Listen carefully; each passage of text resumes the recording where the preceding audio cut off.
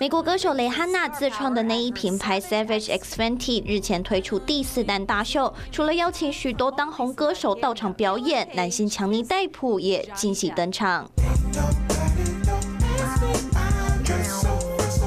强尼戴普身穿睡衣套装，深 V 领剪裁的内搭露出胸肌曲线，虽然只出现短短四十秒，依然让大批网友惊叹不已。但蕾哈娜邀请强尼戴普出席大秀的这个决定，在网络上掀起讨论。The choice is controversial, especially considering Rihanna was assaulted by Chris Brown back in 2009, and Johnny was accused but denies abusing Amber Heard. 强尼戴普爆出家暴丑闻，虽然赢得官司，却也失去多个电影角色。如今现身蕾哈娜的大秀，似乎也代表强尼戴普已经开始慢慢回归舞台。We like to challenge ourselves and challenge tradition and, and find new ways of redefining sexy and.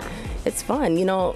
The Savage Show is not really just a, a fashion show. 主打任何尺码都买得到的 Savage X Fenty 这次大秀也邀请各种肤色、族群和身材的模特儿，以大地之母为主题，也呼应了升格为人母的蕾哈娜，再加上强尼戴普惊喜现身，为大秀增添新爆点。华视新闻蔡一次卢佩君报道。